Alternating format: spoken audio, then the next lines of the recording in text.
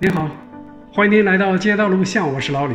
今天跟您说一条多伦多老当趟的南北大街 Church Street 教堂街，Let's go。在进入 Church 这条街之前，我先在 Google Map 上给您指一下这条街在多伦多市区的方位。它的左手边呢是 Young Street，右手边是 Jarvis。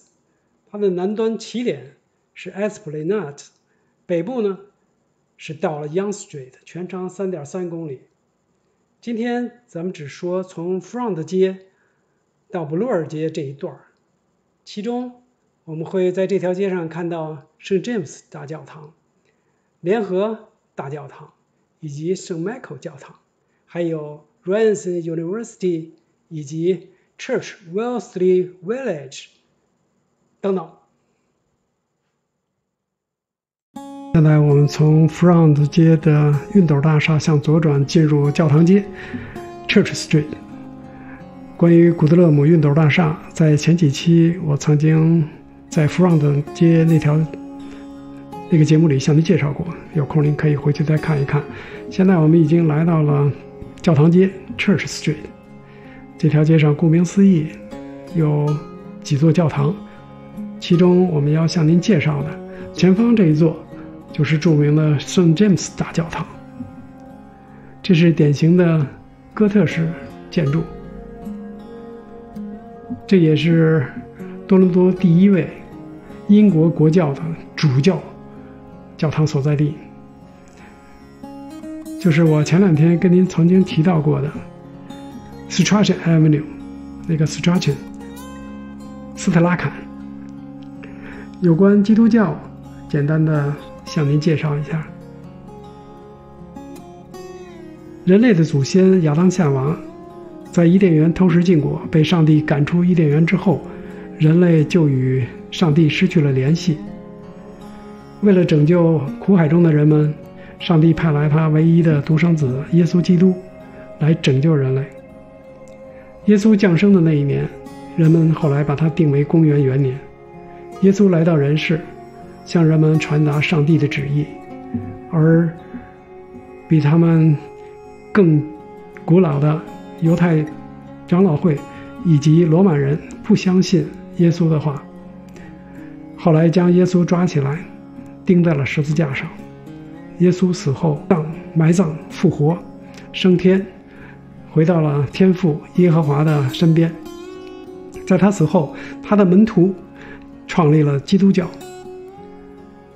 基督教一开始并不被人们所接受，直到公元232年，君士坦丁统一了罗马，将基督教奉为国教。后来君士坦丁迁都，从从罗马迁到了君士坦丁堡，就是现在的伊斯坦布尔。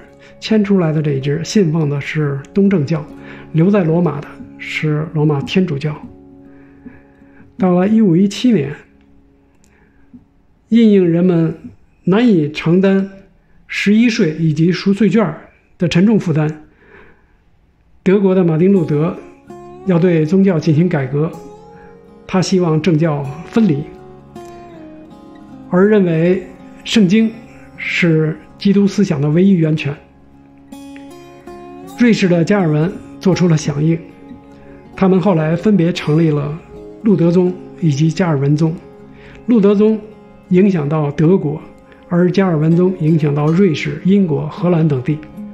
现在我们看到的这个哥特式的建筑，圣詹姆斯大教堂，这就是来自英国的国教。而他们小小的区别，对圣经的理解，旧约三十九卷，新约二十七卷，那么这是新教他们所承认的圣经的卷数，而罗马教，也就是天主教。还有另外的七卷的侧经，小小的区别。圣詹姆斯教堂，这是非常典型的哥特式建筑，它的外部是白砖和俄亥俄砂岩组成，厚重的墙壁依托着高高的尖塔，彩色的玻璃窗、尖锐的拱门，以及高高的天花板、石峰飞檐等，体现了哥特风格在美学上的完整统一。加上肋骨拱顶、飞覆壁等因素，使得教堂的采光充分自然。斯特拉坎也就在1867年去世的时候葬在了这个教堂里面。现在我们离开这所教堂，前往下一个联合教堂 ——Metropolitan United Church，这是位于 Church 和 Queen Street 交界处。这座教堂也是哥特式建筑，在一九二九年重建的。这是一个联合教会，它包括了加拿大卫理公会、长老会、公理会等等。它有着五十四中的中琴以及最大的管风琴，当琴声奏响时，传遍整个社区。我们同时也可以看到，这是非常先进性的一个教堂。在他的大门旁边还插着同性恋的彩旗，他为多伦多男女同性恋社区发挥了重要作用，也为当地穷人及无家可归者提供帮助。跟他一路之隔的就是圣迈克大教堂，这是一所天主教堂，天主教等级森严，从教宗一直到下面的神父，中间隔了十几个等级。现在这所教堂。也是非常重要的多伦多地区的宗主教堂。我们离开教堂区，前往北部的 Rance University。在路上，我们可以看到这个标牌，整个这个校区就在市中心。Rance 也是著名的一个教育家，同时也是。斯特拉坎家庭契约的最大的反对者，他希望提倡公共教育。现在这所学校有四万多本科生，近三千多的研究生，以及一万两千多继续教育学生，是非常不错的一所大学。继续往前走，我们会来到另外一个多伦多非常重要的社区 ——Church Wellesley Village。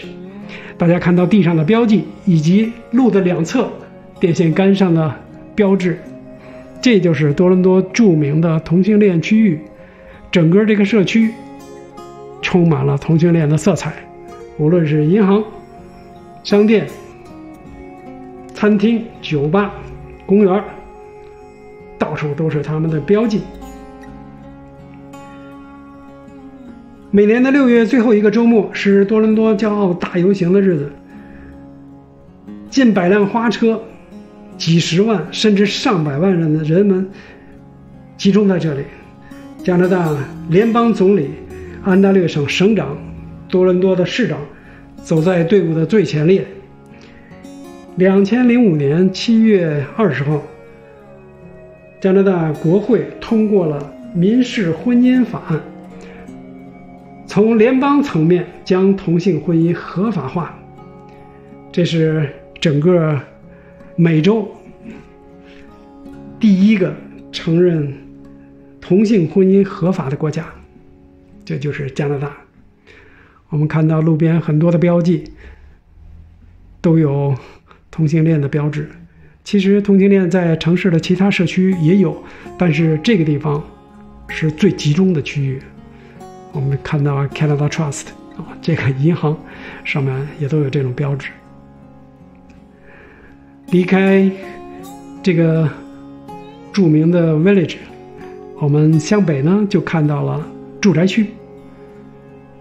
有关教堂街，今天我们跟您提到了三所著名的教堂，以及 Ranson 大学，还有著名的社区。